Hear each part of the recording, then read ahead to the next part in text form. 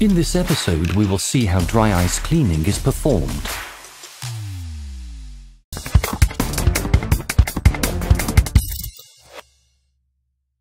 Problems with impossible to remove dirt and stuck residues affect not only our kitchens at home, industrial companies also face this challenge on a daily basis. How to handle them at a factory where contamination is much more severe? This is a job for dry ice. What hides behind this mysterious name? Dry ice is actually carbon dioxide at a temperature of minus 79 degrees Celsius. It is the same gas that we exhale and plants use in the process of photosynthesis.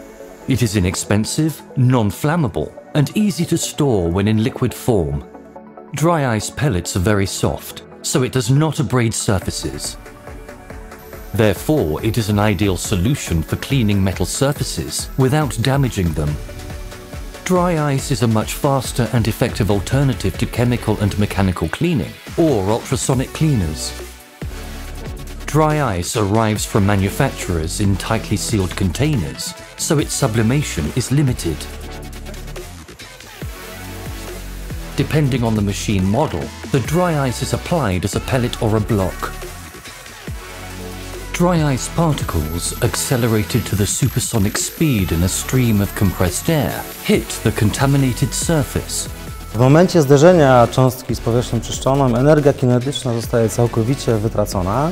E, W związku z tym powłoka e, zabrudzenia ulega e, pęknięciu. Następnie suchy lód powoduje również bardzo mocne ochłodzenie powierzchni, czyli skurcz cząstek brudu i oderwanie tego brudu od e, powierzchni macierzystej. E, Ostatnim e, z efektów, jakie występują przy czyszczeniu suchym lodem jest efekt sublimacji, czyli przejście cząstki suchego lodu z postaci stałej w gazową. Objawia się to mikrowybuchem i tutaj następuje oderwanie cząsteczki brudu od powierzchni macierzystej. It is time to see the machines performing this work. In this episode, we are visiting Cold Jet Polska in Oborniki. The factory manufactures, among others, PCS-60 and Microclean 2 dry ice blasting devices. The second of these machines was entirely designed by Polish engineers. So let us take a closer look at those solutions. A control panel is the heart, or rather the brain, of PCS-60. It is used to set the quantity of fed ice and the air pressure. It has a blasting hose connected on one side and a compressed air hose on the other. An applicator and a nozzle are connected to the first hose. Nozzles are available in different sizes to match the surface. Now we fill a hopper with granulated dry ice. The machine is equipped with an option for cutting ice, so up to 28 particles in the exact dimensions chosen by the operator can be obtained, from 3 tenths to 3 millimeters. Additionally, different types of applicators are available for use, depending on whether a great power and capacity, or on the contrary, a surgical precision are required. Many companies need only this second type of dirt removal.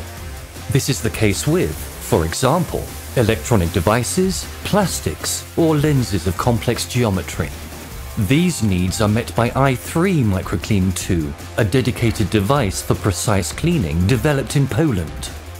This machine uses dry ice blocks instead of pellets. The machine cuts the block, obtaining dry ice microparticles to clean even the most demanding details. Dry ice cleaning is an effective and environmentally friendly process.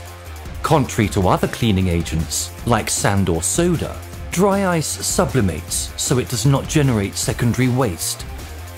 And that's not all. As it is not chemically or mechanically aggressive, we prolong the life of cleansed objects.